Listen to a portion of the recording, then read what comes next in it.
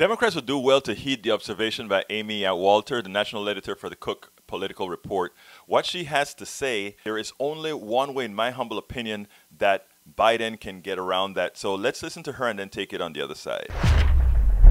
As difficult as perhaps Friday and the weekend has been for Joe Biden, Amy Walter, if you just looked at the polls, the last two weeks in particular, I mean, whether it's a battleground state or a quasi battleground state, it seems as if it doesn't matter if it's a national poll, state poll, Biden is ahead or on the move everywhere. What you noticed over this last couple of weeks is that, you know, voters are expecting their political leaders to meet the moment. A lot of governors have, and you're seeing their approval ratings up in the 70s in some cases. Uh, close to 80%. Donald Trump's are back where they've always been because he met this moment in the same way he meets every moment. It's polarizing, it's divisive, and it's putting people back into their political camps. The one thing I will note, though, Chuck, as strong as Joe Biden is looking in those states and, and in national polls, what you also see is that President Trump hasn't cratered. And his overall vote share, if you look at the matchup between Joe Biden and Donald Trump, doesn't match his approval rating in a lot of these states. In other words, he still has room to grow in these states. There's a group of people who are yeah. saying,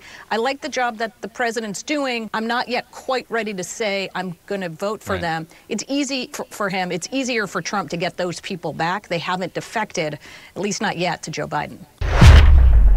At least not yet Joe Biden. But here's the issue. Uh, for them to defect to Joe Biden, Joe Biden would have to really speak to their personal economies and speak to the point in our current time, the COVID 19 pandemic that seem like he is the only one who can make their lives better, right? Trump is a good actor. Trump is a good performer. Trump will even go to the left of Joe Biden. Trump would even give the impression that he's going to give something uh, like Medicare for all, for all the bills that these folks are going to be coming on, for all the uh, rise in health insurance prices that these guys are going to come across when they see what the new bills are going to be in October. So, what's going to happen? If Biden does not step up to the plate, if Biden does not move from the center and move to policies that are going to help not only Biden supporters, but also Trump supporters as they see their, their personal economy crumble.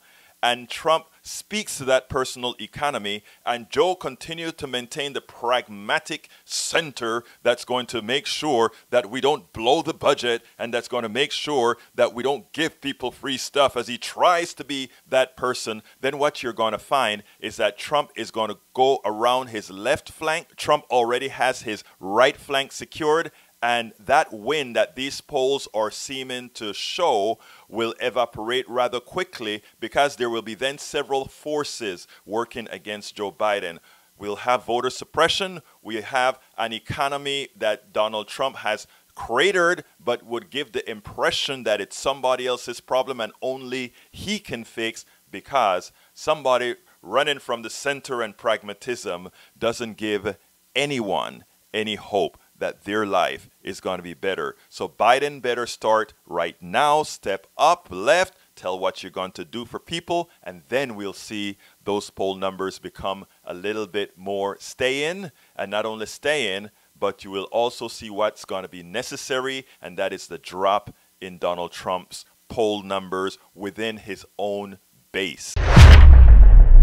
I'm Egberto Willies, host of Politics Done Right, an independent news program. I post several news videos of interest every day. I ask you so kindly to subscribe to my channel and please leave me some comments.